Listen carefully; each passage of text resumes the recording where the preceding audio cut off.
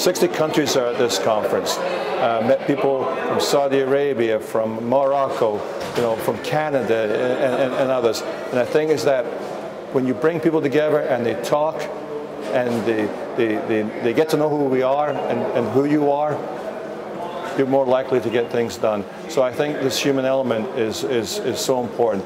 Uh, networking, exchanging information, uh, and, and, and, basically getting the trust from your fellow, your, your, your fellow co colleague. The theme of this conference was East, East meets West, and that was so, so true, you know, uh, where many of the goods are transiting right through Panama from around the world.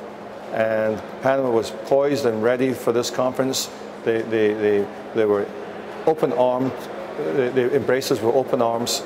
And you can just see by the volume, if you ever go to the canal, the volume of product does come through Panama. It's, it's actually uh, amazing. Uh, I believe it's the second uh, uh largest free trade zone in the world.